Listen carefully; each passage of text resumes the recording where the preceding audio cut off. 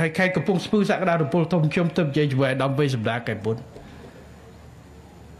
កំពង់ស្ពឺប៉ុណ្ណាពីដើមគេហៅថាអាដាមវេសម្ដាងអាសានិយាយអ្នកលាក់កងជើងអ្នកដែលក្របំផុតឥឡូវកំពង់ស្ពឺគឺជាខេត្តដែលថាត្រូវប៉ាត់ភ្នំពេញរាជធំហើយជាអៀតហើយខេត្តបរសីអនុរាជធំហើយហើយមានសក្តានុពលធំតែខេត្តកំពង់ស្ពឺធំ ទាំងកសិកម្មឧស្សាហកម្មនៅទីនេះទីទៀតធ្វើផ្លូវបកខ្សែតទៅ